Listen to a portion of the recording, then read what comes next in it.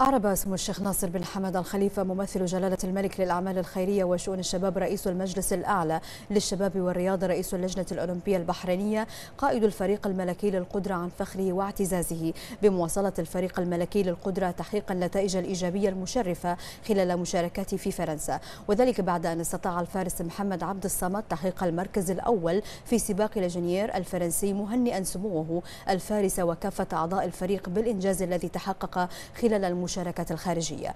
وقال سموه إن الفريق الملكي للقدرة ظهر بروح الفريق الواحد خلال سباق الجنير الفرنسي الذي شهد مشاركة واسعة من قبل نخبة من فرسان العالم. الأمر الذي أهل الفارس محمد عبد الصمد للظفر بالمركز الأول رغم صعوبة وقوة السباق الذي شهد منافسة قوية بين الفرسان المشاركين.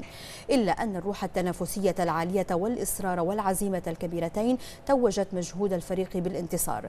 مؤكدا سمو عزم الفريق الملكي للقدرة على مواصلة تحقيق الإنجازات المشرفة خلال مشاركاته الخارجية المقبلة لترسيخ موقع ومكانة المملكة على خريطة رياضة القدرة عالميا.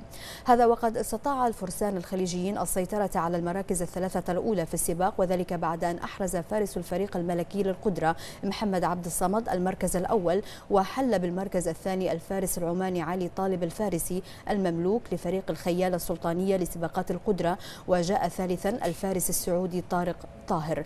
كما أحرز فارس الفريق الملكي للقدرة رائد محمود المركز الأول حيث بذات السباق لمسافة 84 كيلومترا دولي تصنيف نجمة واحدة.